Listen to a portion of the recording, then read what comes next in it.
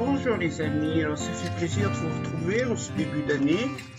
Meilleurs vœux à tous et très bonne année 2023 et que cette année eh bien, soit riche de bonheur pour vous avec une bonne santé et de prospérité aussi.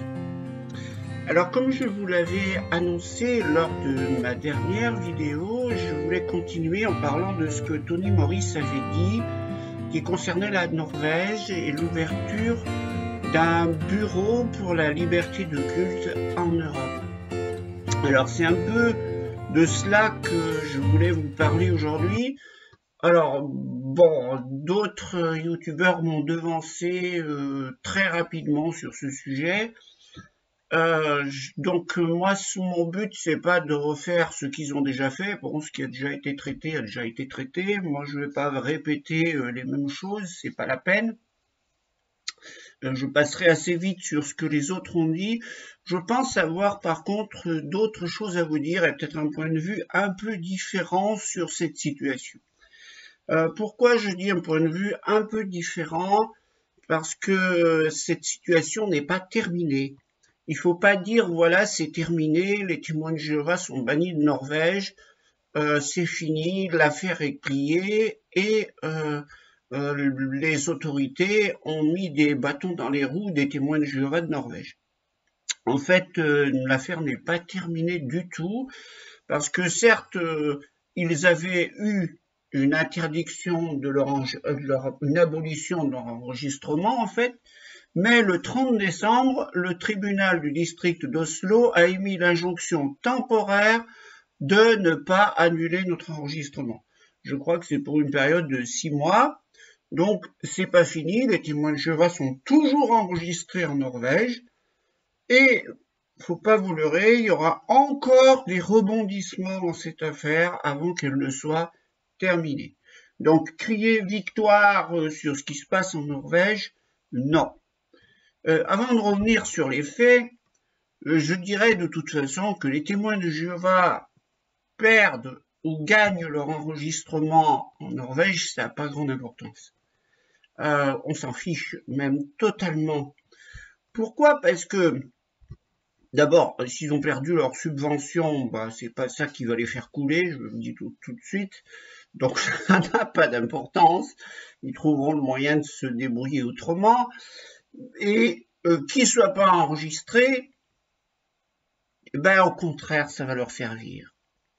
Vous savez, pour le témoin de Jéhovah qui est à l'intérieur de l'organisation, moi je les connais bien, hein, j'y ai passé 44 ans, quand vous avez une persécution qui s'abat sur les témoins de Jéhovah en particulier, cela ne fait que renforcer votre foi, parce que vous vous dites, l'organisation a raison, regardez, de toutes les religions du monde, nous sommes la seule persécutée. Donc c'est nous qui avons vrai. C'est nous que Satan vise. Alors en fait, c'est un faux raisonnement, parce qu'il n'y a que Watchtower qui utilise des méthodes coercitives. Enfin non, il y en a d'autres à peu près, mais enfin à pousser à ce point-là, il n'y a que Watchtower qui le fait de façon si ouverte, pour obliger les gens à rester chez eux ou à y revenir. Mais quand un témoin de Jéhovah voit cette chose lui arriver, ne vous l'aurez pas, la première chose qu'il se dit, c'est nous sommes le peuple de Dieu parce que nous sommes persécutés. Et, ça ne fera pas sortir les témoins de Jéhovah chez les témoins de Jéhovah parce qu'ils ont perdu leur enregistrement, leur faire se poser des questions. C'est même tout l'inverse, ça va les inciter à rester dans l'organisation. Donc, ce genre de mesure sur les témoins de Jéhovah, il n'a aucun effet. Par contre, et c'est là où c'est intéressant, et je dirais que c'est là où est la victoire, c'est le fait que ces mesures mettent à, la, à la disposition du grand public des gens qui sont euh, pas témoins de Jéhovah, une vision claire de ce qui se passe à l'intérieur de l'organisation. Et c'est ça qui est intéressant. Ce qui est intéressant, c'est que des personnes qui ne s'intéressaient pas aux témoins de Jéhovah, qui les voyaient comme des braves gens, ont découvert que, un enfant mineur peut être exclu, qu'on le mettra à l'écart de ses grands-parents, à l'écart de ses tantes, à l'égard de ses cousins, à l'égard de... et que, comme je l'ai entendu et vu dans certaines euh, familles de témoins de Jéhovah, on est capable de les foutre dans le garage, de les faire manger euh, contre le mur, le dos tourné à toute la famille, pour pas qu'ils communique le moins possible avec lui. Euh, c'est des choses qui se produisent dans certaines familles des témoins de Jéhovah. Ben, cela, c'est jeté à la connaissance du grand public. Et euh, je vous mettrai à disposition tout un tas de documents, et vous allez le voir, les témoins de Jéhovah, lorsqu'ils ont écrit une lettre le 14 décembre aux autorités d'Oslo, eh bien, dans le point 64, c'est ce qui relève. Si vous voulez, je peux vous le citer. Alors attendez que je le retrouve. Point 64. Voilà. Le retrait de l'enregistrement pourrait placer la communauté religieuse sous un jour défavorable dans l'opinion publique et peut amplifier les préjugés et favoriser l'hypothèse erronée selon laquelle il s'agit d'une secte douteuse et d'une communauté religieuse de second ordre. Et voilà ce que les témoins de Jéhovah redoutent. C'est ça. Et en fait, euh, ils ont bien vu que c'était un problème parce que euh, euh, ben, ce qui se passe, c'est que ça les gêne considérablement quand ils vont prêcher, de savoir que les gens qui les prenaient jusque-là pour des braves gens, eh bien, savent que les témoins de Jéhovah ont des procédés qui sont tout à fait moyenâgeux. Et ça, c'est quelque, c'est, je dirais que la principale chose qui est bonne dans cette affaire, c'est pas le fait qu'ils perdent ou qu'ils gagnent leur subvention, leur enregistrement, c'est que soit porté à la connaissance du grand public ce qu'ils font. Parce que, comme je vous l'ai dit, sur les témoins de Jéhovah, ça va, ne, ça va faire que les renforcer. Alors, qu'est-ce qui s'est passé? Alors, disons tout de suite que en Norvège, je ne vais pas faire de la répétition hein, de ce qui est dit dans notre vidéo, euh, puisque ça a déjà été dit, je ne le répète pas, mais rapidement, en Norvège, chaque euh, groupement religieux enregistré reçoit de l'argent du gouvernement. Je crois que c'est autour de 150 euros, je crois, par euh, membre de l'organisation. Bon, mais comme vous allez le voir dans l'extrait d'une émission de télévision que je vais vous passer, vous allez voir que la je crois que c'est la procureure du district d'Oslo, elle dit bien que il faut que les religions se comportent d'aplomb pour les recevoir. Et là, c'est ce qu'ils ont pas, donc ils ont été euh, enlevés des subventions. Ça fait déjà un moment. Je crois que ça, les subventions sont perdues. Et ce qui a été remis en cause à la fin de l'année, c'est leur enregistrement euh, en tant que euh, communauté religieuse. Et ça, il y a eu un il y a eu donc un avis défavorable qui a été émis, mais qui a été cassé le 30 décembre de façon temporaire.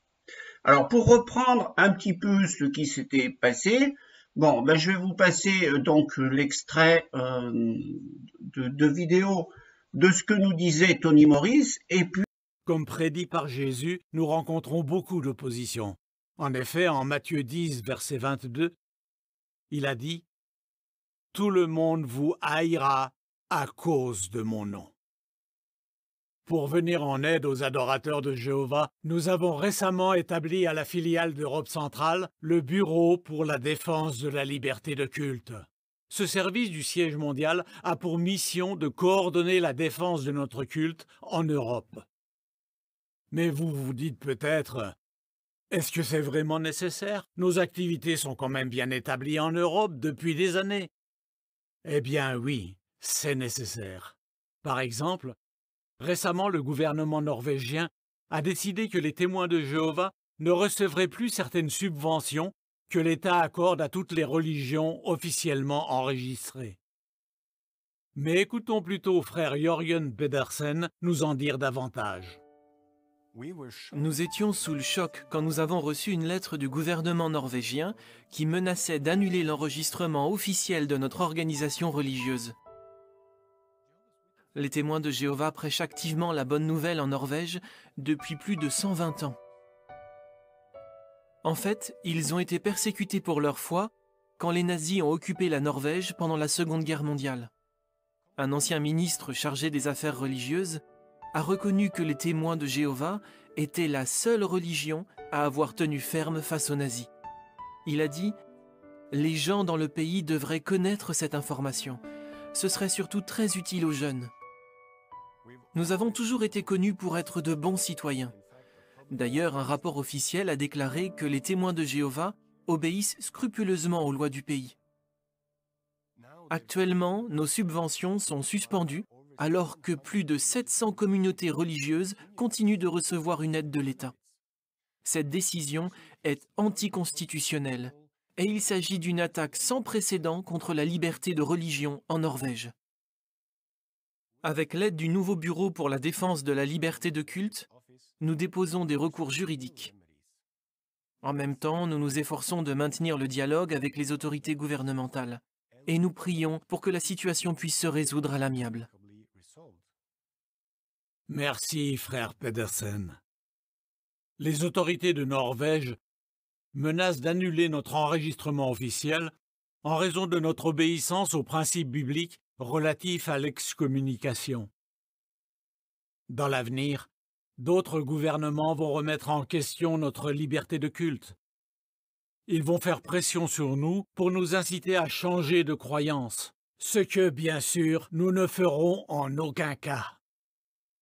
Et comme l'évoque frère Pedersen, nous nous démenons pour résoudre ce problème. De votre côté, s'il vous plaît, faites-en l'objet de vos prières. Très bien. Alors, euh, quand vous écoutez Tony Morris, vous voyez son dogmatisme à la fin, euh, il dit nous ne changerons jamais nos croyances.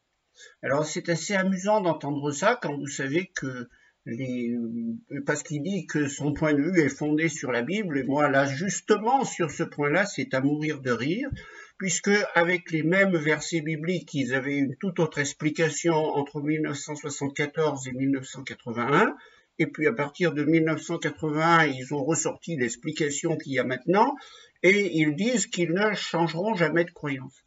Mais évidemment, hein, parce que quand vous voyez, je dirais, l'évolution de Watchtower dans le temps et sa politique sur l'excommunication et l'exclusion, parce que moi je, dis l'exclusion parce que les témoins de ne sont pas excommuniés, ils sont exclus, eh bien, euh, Watchtower Lorsqu'elle a mis cela en 81, elle l'a mis pour certaines raisons. C'était euh, l'expulsion de Raymond Franz de l'organisation suite euh, au problème de l'après 75.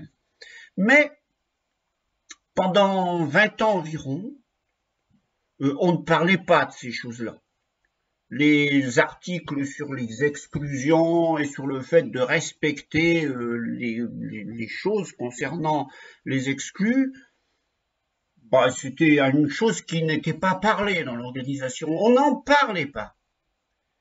Et puis d'un seul coup, au début des années, fin des années 90, début des années 2000, les surveillants de circonscription, euh, les, euh, euh, les articles de la tour de garde, etc., eh bien, sont redevenus plus que jamais virulents concernant le fait de suivre les instructions pour l'excommunication.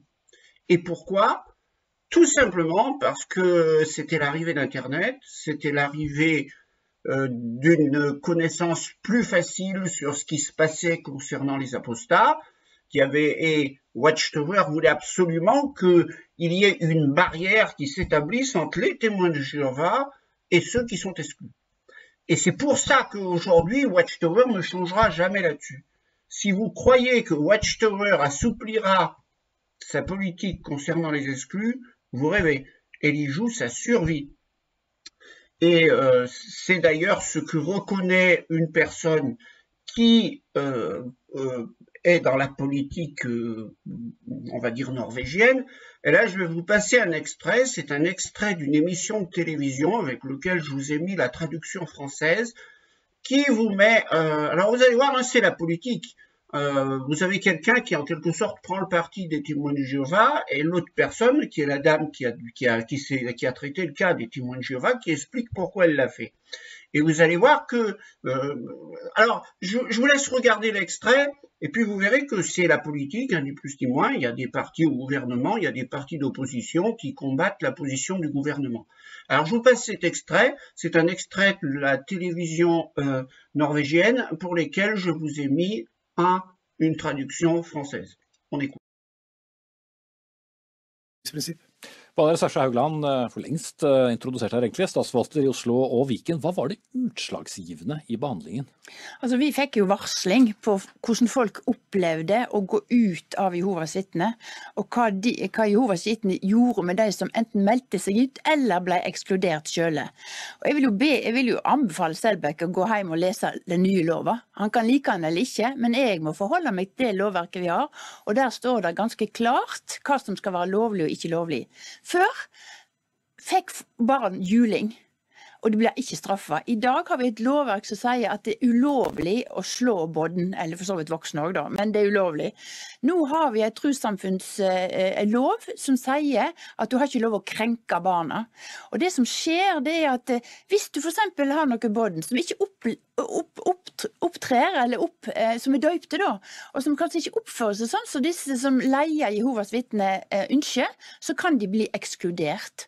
Og det betyr at disse bodna ikke får ha kontakt med foreldrene sine, med søsknene mm. sine, med miljøet sitt. Men, men, det tar jo også for så vidt Selbekk avstand fra. Men, men, så er det denne grunnlovsfestede retten da til, eh, til, å motta eh, statsstøtte. Ja, men hvis du mottar den statsstøtten, så må vi altså forvente at du opptrør i tråd med lovverket. Ikke bare grunnlover, men òg trossamfunnslover.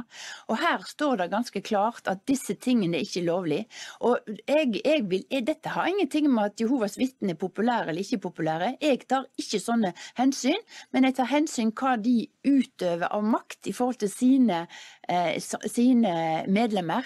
Og de kan bli ekskludert av ulike grunner, og vi kan riste på hodet for det. Men når de ekskluderer på denne måten, og òg fratar de familiene sine. De, vi fratar de søsknene sine, mor og far. Vi, vi, vi, barn har faktisk rett på foreldre.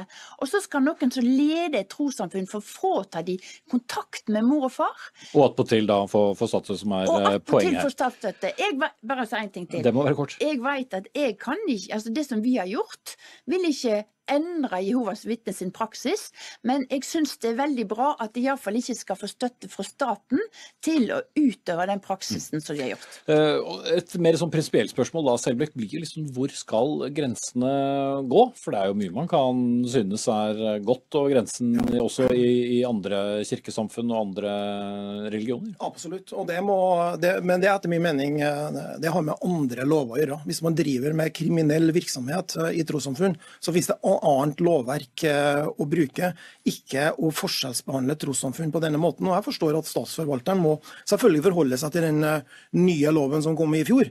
Men jeg er i en fri stilling. Jeg kan, jeg kan, eh, jeg kan kritisere den loven, være uenig i den. Og, og jeg mener at det, det, det er noen farlige prinsipper med den nye loven. Der altså myndighetene får et slags redskap til å bedrive økonomisk straff mot trossamfunn man ikke liker. Og Det åpner for en god del interessante eh, perspektiver i et stadig mer eh, sekulært eh, og kanskje også i mange måter religionsfiendtlig samfunn. Hvem er det neste som, som står for dør? Hvis, hvis, hvis, hvis man skal, det er jo ikke det du skal ta stilling til. Nei, men det, men det er likevel, det er veldig, likevel viktige prinsipper. Homoseksualitet. Frikirker som ikke aksepterer det. Den katolske kirke som ikke aksepterer kvinnelige prester. Nei, nei, nei, du er helt på jordet nå. Nei, det er ikke på jordet. Du er det. Fordi at det du ikke tar inn over deg, det at vi har fått et lovverk å styre Disse, disse trossamfunnene kan ikke gjøre hva de vil. Og da må vi bruke det lovverket når vi òg skal godkjenne eller frata. Jeg har fått, jeg har, eller Statsforvalteren har tilsyn med disse trossamfunnene. Vi har fått et oppdrag i å føre dette tilsynet, og jeg hadde ikke gjort jobben min hvis ikke jeg hadde sagt at den praksisen den kan ikke dere utøve slik som dere gjør. Og så vet jo jeg at de kan fortsette som de vil, men da, de, da får de altså 16 millioner mindre i år eh, for å drive dette arbeidet på. Så håper jo jeg da, for å si det sånn, at de skal endre sin praksis, slik at både og, og foreldre og andre voksne Ja, for det var det neste jeg skulle komme til. Er det så galt om uh, kanskje ting uh, Kanskje uh, måter å gjøre ting på som for lengst har gått ut på dato, blir fornyet? Nei, men altså, Hvis Valgjerd Starstad Høgland tror at du skal klare å endre Jehovas vitner, så tror jeg ikke på Jehova, da tror hun på julenissen, rett og slett. For at, dette, er altså, en, dette, er altså et er altså et religiøst trossamfunn ja. som har vært utsatt for holocaust. Altså, de gikk i konsentrasjonsleir heller inn, men, men, har det noe med dette å gjøre? Nei, ja, det syns jeg faktisk at, eh, at, det har. For det er veldig lett å angripe et venneløst trossamfunn som Jehovas vitner. Jo, de har ingen venner. Nei. De stemmer ikke ved valg. Det er ingen politiske kostnader ved det. Da mener jeg at Nei, likevel da, jo, men, jo, men da er det viktig at det finnes noen som på en måte snakker altså, deres sak også. Og selv en person som meg, som er veldig veldig uenig i alt de står for. Jo, men du angriper meg for å ta fra de statsstøtten. Jeg angriper politikere som vet at den loven du styrer etter. Jo, men kjære vene, da må du gå til politikerne som har Ja, men det gjør jeg. Jeg snakker jo, snakker jo, men, om det. Jeg snakker jo, jo, om jo, Poenget er at jeg har et lovverk, vi har et lovverk som er vedtatt, og jeg syns det er fornuftig dette lovverket. Fordi at en skal ikke kunne gjøre hva som helst i navnet til verken Gud eller Far Den hellige ande. En skal faktisk ikke kunne gjøre hva som helst, og likevel få en slags aksept som trossamfunn, eh, og dermed òg eh, eh, statsstøtte. Og er, jeg tror vi er på farlige veier hvis vi fortsetter å ser gjennom fingrene på en slik eksklusjonspraksis som Jehovas vitner har, har, ført i mange år. Ok, Jeg lar det være et uh, poeng. og så gjør oppmerksom på at uh, Jehovas vitner ble invitert hit, men uh, pga. pågående ankesak så takket de nei i denne omgang. Takk til statsforvalter i Oslo. Voilà. Alors, c'est assez amusant, mais vous voyez que l'affaire n'est pas tranchée. Il y a une opposition, c'est le débat politique du pays. Et donc, euh, eh bien, on, ne sait pas exactement comment cela fait, euh, euh, se, se, finira. Euh, J'ai d'ailleurs adoré la phrase de l'opposant qui dit euh, Si vous pensez que les témoins de Jéhovah changeront, vous ne croyez pas en Jéhovah, mais vous croyez au Père Noël. Voilà, c'est bien cela euh, qui est arrivé. Alors, simplement une petite chose qu'il faut dire. Alors pourquoi c'est arrivé dans ces pays? Alors il n'y a pas que dans ces pays, il y a la Belgique aussi, il y a peut-être probablement la, Suède qui suit un peu le même genre. Il commence à y avoir un certain nombre de pays du nord de l'Europe qui sont très à cheval sur la liberté individuelle, qui commencent à se rendre compte que les témoins de Jéhovah font des dégâts avec leur politique d'exclusion. Et en Norvège, c'est arrivé suite à l'activisme de certains témoins de Jéhovah qui ont alerté les autorités, et puis d'une lettre euh, envoyée aux autorités d'un certain Rolf Furuli. Rolf Furuli, vous cherchez sur Wikipédia, il a sa page Wikipédia. C'est quelqu'un qui est connu, qui est célèbre, qui a écrit des livres pour soutenir la traduction du monde nouveau des témoins de Jéhovah, qui a fait des études universitaires et qui a eu le, privilège d'être exclu des témoins de Jéhovah. Je crois que c'est il n'y a pas tellement longtemps, alors qu'il avait euh, été témoin de Jéhovah pendant des années. Et c'est ce que je vous disais dans la dernière, euh, dans une de mes dernières vidéos, je vous disais que certains chefs locaux qui commencent à contester l'autorité du collège central. Alors Rolf Furuli, lui, il n'a pas eu de mal à la contester parce que c'est quelqu'un, s'il connaît les langues sémitiques, qui connaît un peu l'histoire, et n'importe qui qui connaît un peu l'histoire ne peut pas imaginer qu'il y avait un collège central au premier siècle. C'est complètement faux. Donc il n'est pas étonnant que Rolf Furuli ait fini par euh, se fâcher contre le collège central, et à partir du moment où vous vous fâchez contre le collège central, eh bien vous finissez inévitablement par être exclu.